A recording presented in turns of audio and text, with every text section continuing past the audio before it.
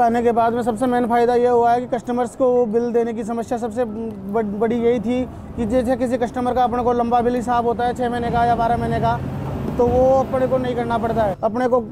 Customer के पास जाने की ज़रूरत नहीं है अपने ऑनलाइन पेमेंट आ जाता है अकाउंट में या पेटीएम वगैरह, जो भी उनके पास सोर्स होता है उसके हिसाब से। मेरे पेपर के अंदर जो टाइम का टाइम बचता है, उसके साथ जो बचेगा, उसके अंदर मेरे बच्चों को टाइम दूँगा और उसके बाद में टाइम बचेगा तो मैं और बिज़नेस के अंदर दूसरा काम करना, कर सकता हूँ। With these